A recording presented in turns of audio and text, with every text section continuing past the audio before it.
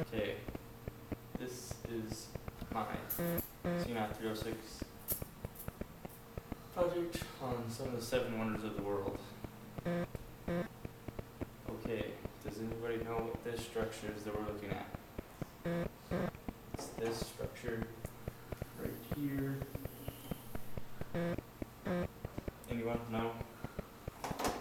Alright, well, this is the Taj Mahal. It's a very interesting structure. There's cool things here, here, over here. The red light shuts off. Alright. Um, gotta erase that. That was a previous class. It was built by this man right here, the Mughal Empire Shah Jahan. He built it for his death, his mm. favorite wife. Death, his favorite wife. Mm. Um, it's actually a lot bigger than just the Taj Mahal. You have the tombs, the mm. gardens, other things like that. So, pretty cool place to visit. If you read a chance. Now, this place this is what we're looking at right here. It's in Mexico.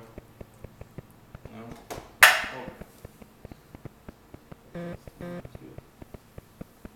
Erase this, erase that. It's Chichen Itza.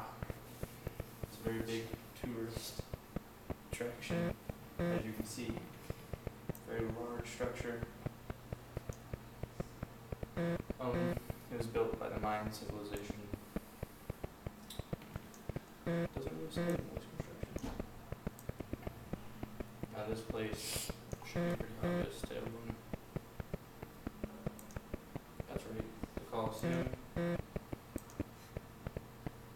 They did many things at the Colosseum, such as gladiator fights, executions, reenactments of famous mythological plays,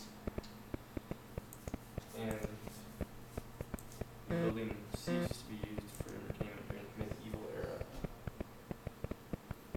Structure, kind of hard to see, but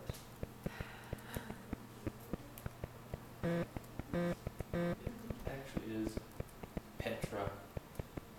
Yeah, you can see there's buildings back here, back here, all built in the rock face. Um, oh, sorry. Discovered until by the Western until 1812 by Johann Burckhardt. The structure we're looking at here is right here. Very big structure, top of a mountain in Brazil. Anybody guess no? It's Christ the Redeemer. As you can tell, the mountain's tall, but so is him as well. Half as tall as the mountain. It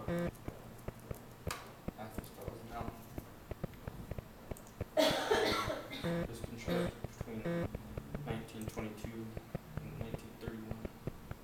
And it's symbol of Christianity.